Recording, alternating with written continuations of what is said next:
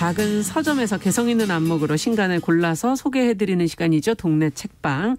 자, 오늘은 부위프의 박은지 대표 잘해 주셨습니다. 어서 오십시오. 안녕하세요. 아, 따뜻하게 입고 오셨네요. 너무 좋아요. 자, 오늘 그러면 어떤 책을 만나볼까요? 네, 오늘 소개해드릴 책은 음. 쌀쌀한 가을밤에 꼭 추천해드리고 싶었던 이야. 책이었는데요.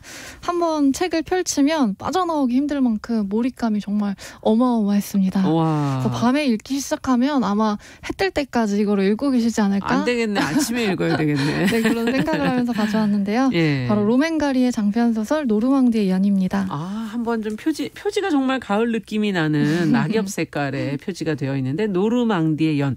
꽤 두께는 조금 되는 것 같아요. 네, 로맨가리, 어, 뭐 너무 유명하지만, 그래도. 네 모르시는 분들이? 계실 수 있으니까 네. 한번 더 소개해드리면 어, 1945년부터 80년까지 하늘의 뿌리나 뭐 새들은 페루에 가서 죽다 음. 이런 여러 편의 작품을 남긴 프랑스 작가인데요. 네. 하나의 정체성에 속박되지 않기 위해서 또 다른 필명을 썼던 작가로 그때부터 그러니까 네, 요즘 우리가 유명하죠. 말하는 부캐. 어 맞아요. 시절을 앞서갔던 분인 것 같아요. 네. 이 로맨가리가 본명으로 발표한 소설 이 하늘의 뿌리로 음. 프랑스 최고권위 문학상인 콩, 공쿠르 상을 받았는데 네. 에밀 아자르라는 필명으로 발표한 자기 앞의 생 역시 같은 상을 받으면서 아. 역사상 유일무이하게 이 상을 두 번 받은 작가가 된 일화가 참 동일 작가인 유명하죠. 걸 모르고 상을 두 번을 준 거군요. 네, 그렇죠. 네. 근데 어쨌든 그 상을 받은 부담을 벗어나기 위해서 부캐로 이름을 하나 더 만들고 에밀 아자르. 근데 그것도 마침 또 상을 또 받게 됐다. 네, 대단한 재능이 아닌가 하는 생각도 드는데 맞습니다.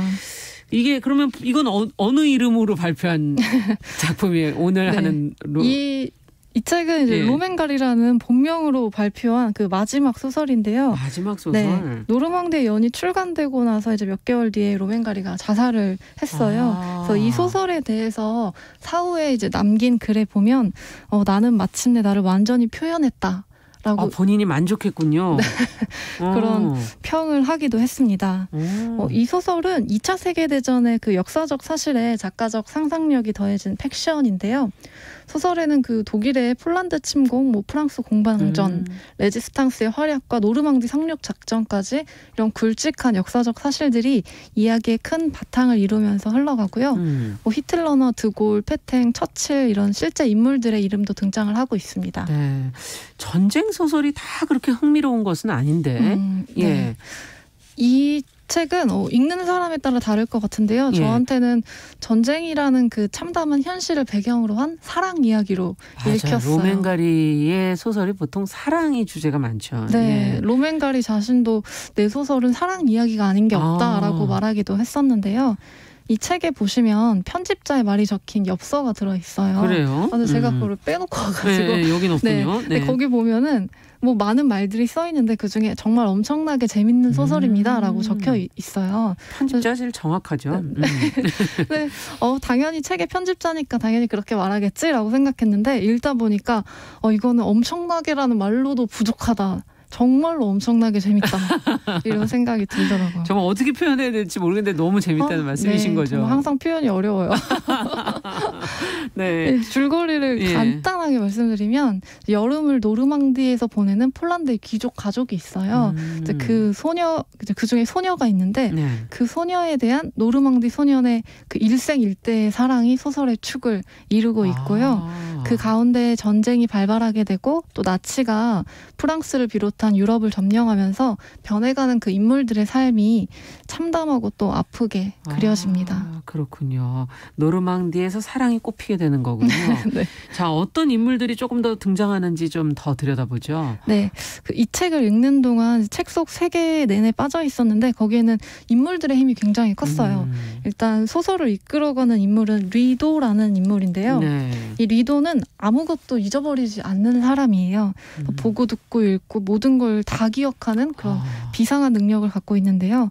그래서 우리가 뭐 장거리 연애한다고 하면 몸이 안 떨어져 있으면 네, 그렇죠. 사랑이 뭐 옅어진다 이러는데 음. 이 리더라는 인물은 정말 아무것도 안 잊어버리기 때문에 사랑에 빠진 사람과 몇 년간 떨어져 있어도 그 상대의 모든 것을 같이 있던 그 모든 순간 뭐 했던 대화 어. 표정 이런 것들을 아무것도 잊지 않고 어제처럼 생생히 기억을 하는 사람입니다. 이야. 이런 천재적인 능력이 나치에 대한 저항 활동을 할 때도 요긴하게 쓰이게 되는데요. 그 리도의 머릿속에 그 대원들의 모든 연락처와 뭐 주소와 이런 게 다 있기 때문에 음. 그런 걸 서류로 남겨놓으면 좀 위험하잖아요. 맞아요. 그래서 증거를 남기지 않고 자기 머릿속에 다 집어넣어서 이제 연락체 역할을 맡기도 이야. 합니다. 그러면 리도랑 사랑에 빠진 인물은 누구예요? 사랑 얘기를 하면서 왜 그 사람 얘기를 하네요? 네, 릴라라는 이름의 그 폴란드 귀족 소녀인데요. 예. 이 릴라는 수많은 인물들의 사랑을 받는 여성으로 그려집니다. 음. 근데 릴라가 정말로 매력적이었던 건 이 이야기가 흘러가는 내내 당대의 여성성으로만 축소되지 않으려는 의지를 굉장히 강하게 보여줘요. 아. 그래서 전쟁이 발발하기 전에 릴라를 보면 매일 항상 자신에 대해서 꿈을 꿔요. 어, 나는 뭐가 될 거야. 뭐 나는 의학대학에 들어갈 거야. 뭐 이런 식으로 자신에 대한 꿈을 항상 아. 꾸는데 그러면서 끊임없이 자기 자신을 찾아다니는 모습이 나오기도 하고요. 예. 또그 리도한테 사랑한다고 말을 하면서도 아, 사랑이 모든 것은 모든 것의 끝은 아니야 이렇게 음. 얘기하면서 나는 너의 절반이 되고 싶지 않아. 아, 요즘 너의- 여성과 굉장히 그 시대적으로 보면 굉장히 오래전인데. 네, 그러니까요.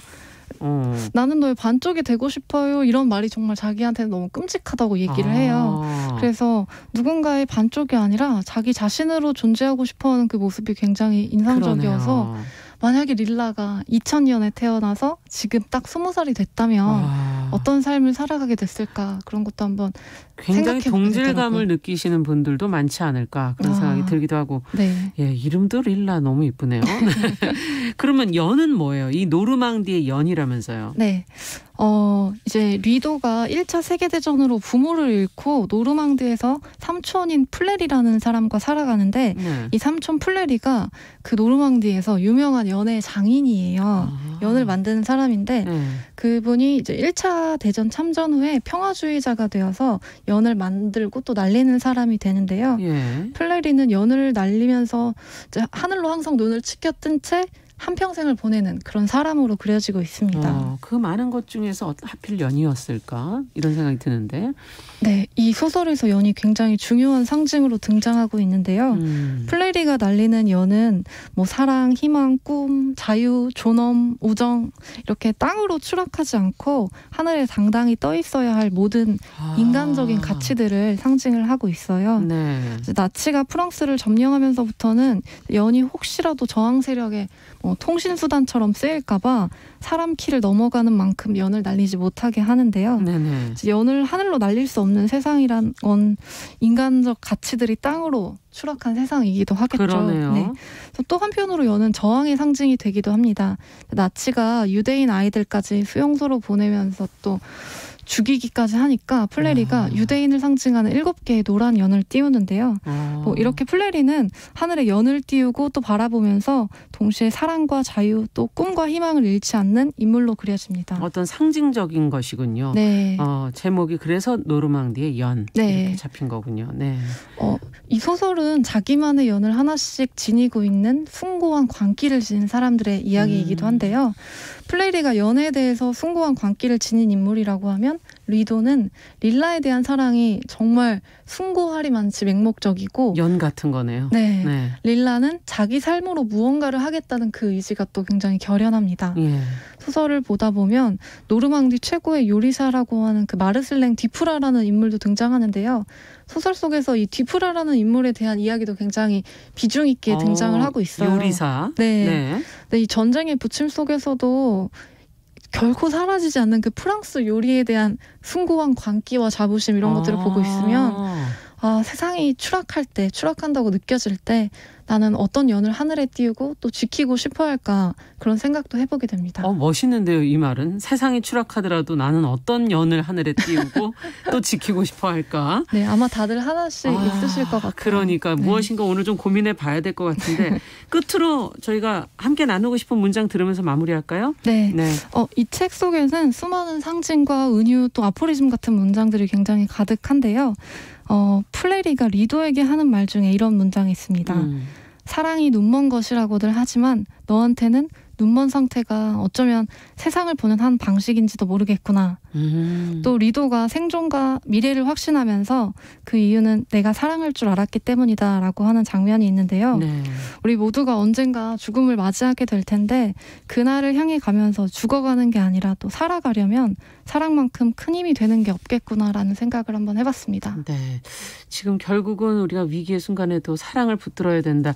자기 앞에 생에서 얘기했던 것이 좀 더 확장된 네. 좀더 어, 구체적으로 나온 로맨가리의 작품이 아닌가 기대가 되네요. 자, 오늘 얘기는 여기까지 듣겠습니다. 네. 감사합니다. 고맙습니다. 네, 부비프의 박은지 대표와 함께 동네 책방. 오늘은 로맨가리의 마지막 소설 노르망디의 연을 같이 읽어봤습니다. 정용실의 뉴스 브런치 목요일 순서 이제 인사드릴게요. 저는 내일 오전 10시 5분에 찾아뵙겠습니다. 감사합니다.